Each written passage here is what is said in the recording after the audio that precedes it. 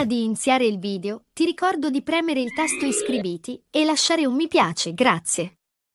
Lutto nel mondo del giornalismo. Nel 1960 ha debuttato in Rai, un grande professionista che ha fatto la storia del giornalismo e dello spirito. Come abbiamo appreso durante la notte, è morto all'età di 84 anni Gianni Minà. L'annuncio è arrivato tramite un post su Facebook. Gianni Mina ci ha lasciato dopo una breve malattia cardiaca. Non è stato mai lasciato solo ed è stato circondato dall'amore della sua famiglia e dei suoi amici più cari.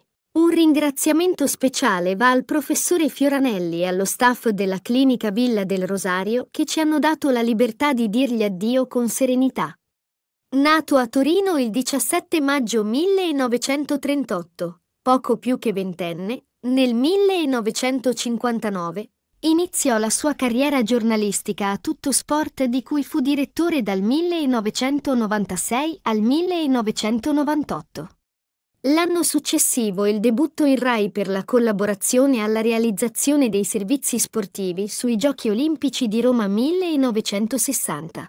Nella sua sterminata esperienza da cronista ha seguito otto mondiali di calcio e sette Olimpiadi, oltre a decine di campionati mondiali di pugilato, fra cui quelli storici dell'epoca di Muhammad Ali.